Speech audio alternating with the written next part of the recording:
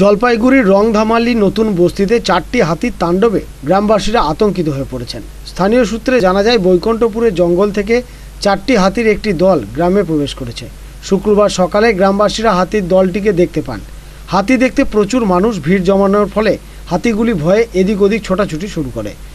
হাতির হানায় কৃষির ফসল সহ বহু বাড়ি ক্ষতি হয়েছে।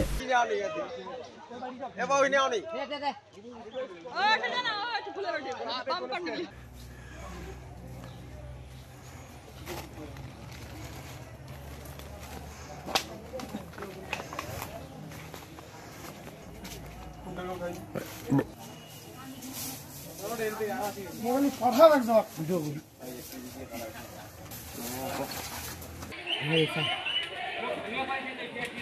এই নড়েন না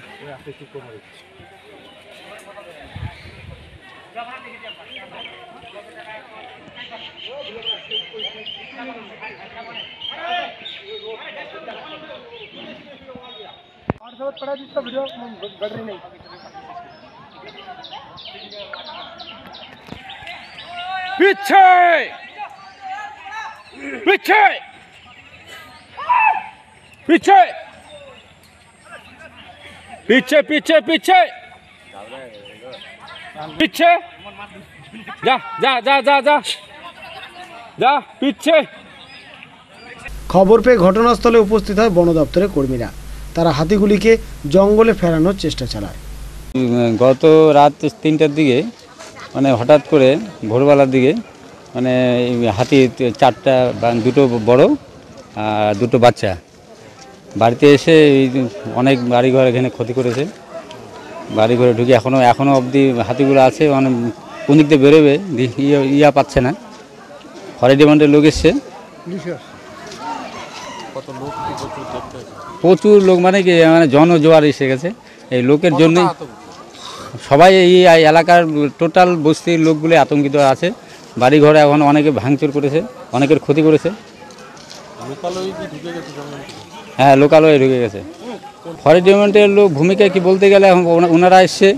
ওনারা এসে বের করার জন্য বস্তি থেকে নেওয়ার জন্য চেষ্টা করছে। কিন্তু এত জনজোয়ার এসে গেছে মানে পাবলিকের জন্য কোন দিকে বেরোবে দিশা পাচ্ছে না। চারিদিকে বাড়িঘর। কে সকাল মোটামুটি ওই পাঁচটা পৌনে পাঁচটার দিকে চারটা হাতি চলে আসছে নতুন বস্তিতে। কোথায়? কয়েকটা ঘর নতুন বস্তিতে। পাতকাটা? পাতকাটা অঞ্চল এটা পড়ে। হ্যাঁ। তারপর? চারটা হাতি চলে আসছে একদম সকাল থেকে কয়েকটা ঘর বাড়ি ভাঙচুর করছে এবং গাছপালাগুলা পুরা ভাঙচুর করছে আর কি। এখনও চেষ্টা করতেছে প্রশাসন। কোনো রকম পাবলিকে যেভাবে ভিড় করে আসে পাবলিকের জন্য কোনো রকম বের করা যাচ্ছে এ, অত্যাচার করতেছে অনেক ঘর বাড়ির উপরে পুরা হামলা করতেছে ওনারা। লোকজন?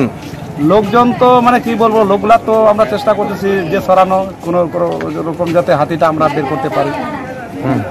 আছে ফরেস্ট ডিপার্টমেন্টের নিজে বড়বাবু আছেন। জলপাইগুড়ি থেকে সুরজিৎ দে আনন্দ বার্তা।